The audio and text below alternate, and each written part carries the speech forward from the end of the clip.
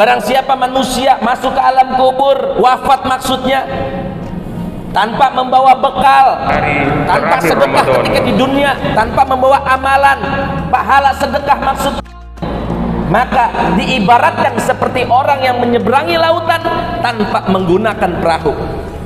Kelebihan khasiat daripada orang yang berinfak di jalan Allah bersedekah di jalan Allah yaitu apa yang pertama taziduhum fi amwalihim Allah tambah rezekinya Allah tambah duitnya yang kedua apa? Orang yang istiqomah bersedekah di jalan Allah yaitu apa? Dawa ulil marid.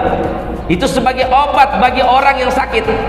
Ketiga, khasiat daripada bersedekah di jalan Allah yaitu apa? Maka kuburannya nanti diterangi oleh Allah Subhanahu wa taala.